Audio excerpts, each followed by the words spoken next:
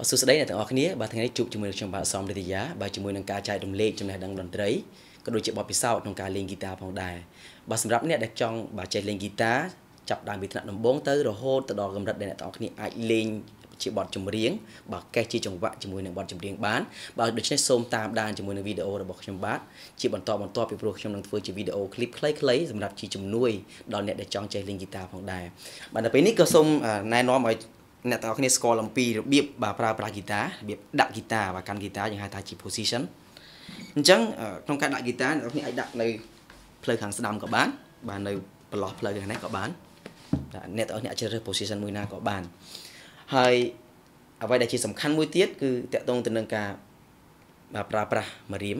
ហើយនឹងទម្រង់ដៃហើយនឹងកដៃរបស់យើង បាទអញ្ចឹងនៅលើដងហ្គីតារបស់យើងយើងប្រើមេដៃនៅខាងក្រោយនេះបាទមេដៃរបស់យើង យើងដាក់នៅខាងក្រោយ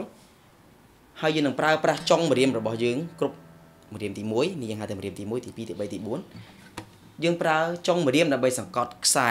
ទៅតាមខ្ទង់នីមួយនីមួយបាទគឺយើងប្រើប្រាស់ម្រាមហើយកដៃរបស់យើងគឺដាច់ខាតយើងអត់មានតម្រង់បាទបត់កដៃឡើងលើប៉ុន្តែយើងមានតម្រង់បត់កដៃចុះក្រោម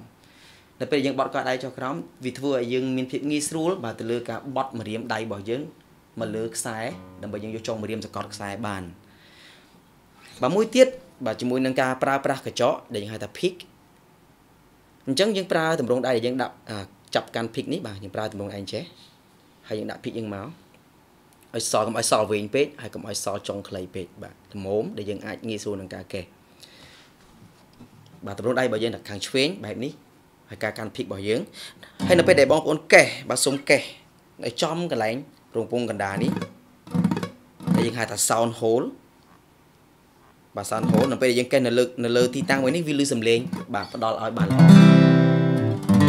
បាទបើកេះនៅកន្លែងនេះមានសំឡេងផ្សេងបាទសំឡេងផ្សេងដូច្នេះទីតាំងដែលយើងល្អបំផុតសម្រាប់ការកេះបាទគឺនៅកន្លែង sound hole នេះបាទតកតងទៅនឹងប្រាការប្រើប្រាស់ម្រាមហើយនឹងការកាន់កញ្ចក់ហ្គីតាហើយនឹងការកេះគឺកេះឲ្យចំ sound hole បាទអរគុណច្រើន